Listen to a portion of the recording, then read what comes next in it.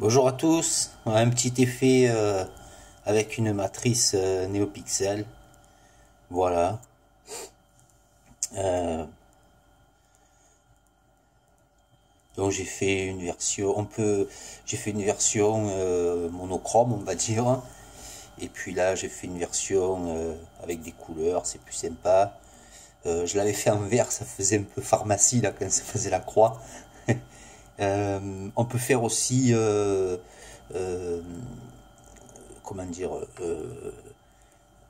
un changement de couleur, c'est-à-dire une fois vert, une fois rouge, une fois bleu, etc. etc. Voilà, je travaille pas encore avec la roue chromatique là, c'est couleur RGB. je mets les adresses en fait de la matrice. Je me sers pas de la matrice de la librairie NeoPixel.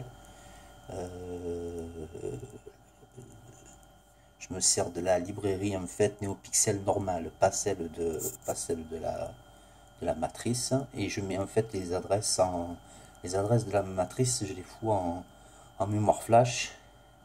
Et après on fait un peu ce qu'on veut quoi. Euh, voilà.